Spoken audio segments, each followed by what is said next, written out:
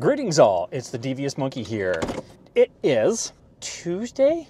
Yeah, Tuesday, December 26th, the day after Christmas. I'm all whacked out, man. I don't know what the hell's going on. It's 426. It is, uh, let's see, cloudy, 55 degrees. Right now, I am filming on my new Osmo Action 4. So I got that for Christmas, but I also have this DJI Mic 2 or whatever and it works with my Pocket 3, but now with a firmware update, it also works with this Action 4. so I can switch back and forth as I need to. I thought that it would be fun to just use this today. I mean, I already have all the mountings for it everywhere. What I did was I took the Action 3, pulled it out of this small rig cage, and then just put it on the mount that I have as my second angle in the studio just for fun I mean, you know, I used to shoot with multi angles all the time, and then I got lazy and I stopped. So now that I have the gear tree up there and I have all that shit worked out, I thought, eh, you know what? I got a, I got a little camera. Let me put it up there. Today, kind of a lazy day. We didn't really sleep in. The cat was yowly as fuck today, and and that's probably my fault because I keep forgetting to shut my alarms off. I just don't even think about it. So they've been going off at 6:05 and then again at 7:25. And when that 6:05 went off, he just did not shut the fuck up all morning. Just yowling and yowling and yowling. And the place is just not soundproofed at all. So it, it, it's like a bullhorn when he does that. It's incredibly aggravating, and um, that's what that's what we woke up to this morning. And I had a headache all night as I was sleeping in my dreams when I'd wake up in, in, the middle of the night, and then when I got up this morning, I had a headache. So I just took ibuprofen and we made breakfast. And then after breakfast, after dicking around on the internet for a little bit, I went upstairs and was dicking around on the internet more and realized I got to do something worthwhile. So I, my wife got me a hat, another hat, because we bought these hats from this place and it turns out that they're uh, like a knockoff factory and it took months for us to get these hats. The one that she wanted, they didn't send. They sent something completely different. And the one they sent me, it was such a Mickey Mouse piece of shit. It didn't look anything like the hat that, that I had ordered. Long story short, she immediately started searching for another hat for me that, that I could, you know, make my own like I do. And it, a different shape than the one that I made, my Stetson one, which I still love, don't get me wrong, and I love this one now. And also, as an aside, I have had this on the stretcher for the entire like past month because I've been wearing my Santa hat, and it's actually stretched out a little bit too much. So hat stretchers work if you're patient. Anywho, so she searched all over the internets to try to find me the perfect hat and, and pieces to start personalizing it and everything and she actually found the site that actually made the hat that I liked. Ugly Outlaw, the Ugly Outlaw uh, hats. He has these hats. They're expensive though, and she was like, you know, love you, but but six hundred fifty dollars for a hat. she goes, I thought that that was just like too excessive, and I was like, it is too excessive. So um, she found a hat that was I don't I don't remember where she got it from, but it is a really nice hat and then she got me like a, a, leather band that, that that I can tie around it, and then she got me like a spike, a turquoise pin, and then I'm gonna start putting my own shit together. And, and I've already that's what I was doing earlier today. That's part of what I was doing.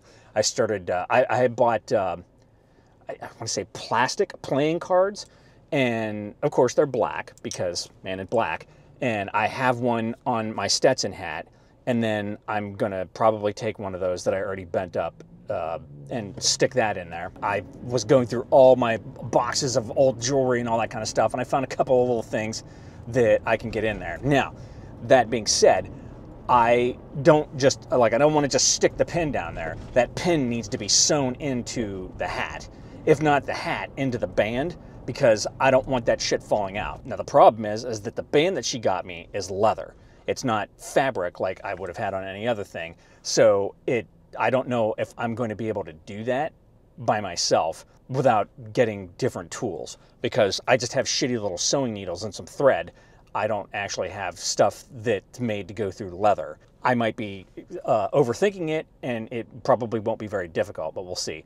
Uh, all right, I know one thing I've got to change in this Action 4 is my screen shut off. So I got to turn off the screen timeout while I'm recording because that's annoying. So anyway, so I worked on the hat. I got that as far as I can go for the time being without sewing and doing all that shit. And I had already moved on to something else. I redid the remaining magical drawers. So now there are six actual drawers that are pushed into that cubby. I cleaned everything out. I threw away shit that was in there. I had two two of them that were filled with Target bags. And I'm like, what the fuck do I need all these Target bags for? I mean, I was using them as a garbage can, you know, liner, but I don't need that many. So I threw those away. I had like old cages from cameras that I haven't had for probably five years, you know, things like that. So those are all now downstairs in the magical drawers down there. And then the stuff that's left upstairs is, for now, it'll do. I have found a like a long, I guess you want to call it a black extension cord, like a heavy duty one. And I was using one of my like outdoor extension cords to plug in the uh, the table that's now down in the garage that's above the magical drawers because I didn't have anything else. And I was like, well, that's a waste of, of an extension cord. And I've needed it so many times. And I was like, son of a bitch.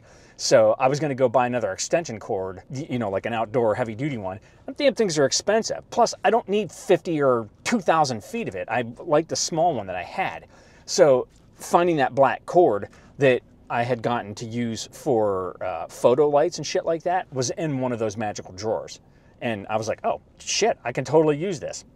So I ended up getting it out and plugging that in downstairs, and I got my outdoor extension cord back. So that goes back into circulation now. So you see, this is what happens when you have too much shit, is that you don't know where to put it, so you just start shoving it wherever it will go, you know, and creating this clutter. And then when you have to actually find something that you want to use, you have to go through all that crap that you don't need anymore, but for some reason you won't throw away. So the box of shit that I need to take to Goodwill is just getting bigger and bigger, and it's just sitting down there in a garage. So I need to do that this week as well. All right, so the magical drawers are done. My hat, started working on it. Um, I'm, I'm getting all my electronics set up. The studio is is uh, like pretty much done. I have all the lighting and everything moved where I want it to be, and you know, cables run. I had to order more cables. There was no getting around it. I had my uh, MacBook Pro downstairs yesterday. It was almost dead. I was like, oh, I'll just plug it in. Well, I don't have a USB C cable down there anymore because I had to take that so I could put it upstairs on the gear tree to power one of the lights. I'm like, son of a bitch. I, I, th- I, thought I had all these cables, and yet I don't. So I don't know. It, it could be in here. There, I don't see it anywhere, but I thought I had two red ones. I only found one, and on and on and on. So I was like, fuck it. So I just ordered more USB C cables. I thought stuff was coming today, but uh, nothing's coming today. It's all coming on Thursday.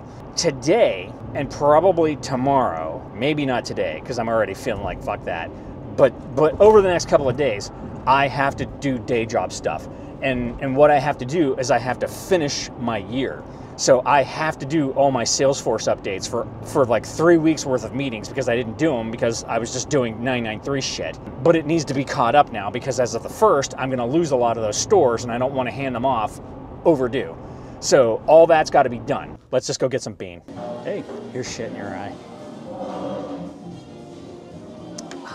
Okay, as always, I have completely forgotten to film.